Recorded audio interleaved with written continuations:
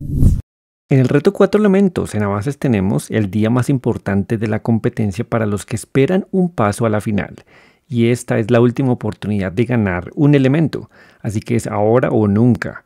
Por ese motivo vemos un reto de a tres mujeres con Ina, Adi y Carolina, en el que Ina se va quedando atrás en el salto alto, mientras que Carolina logra sortear bien el obstáculo.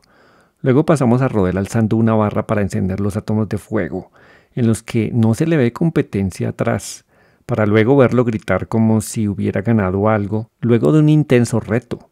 ¿Pero podría haber perdido Rodel? Por supuesto, pero yo lo veo como un grito de victoria.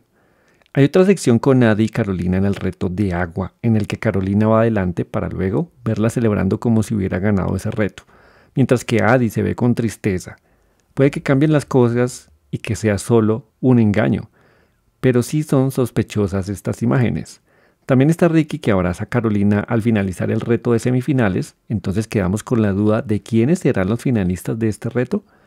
Con esto mañana será el capítulo más emocionante hasta ahora cuando hayan eliminados sin inframundo a un paso de haber llegado a la final.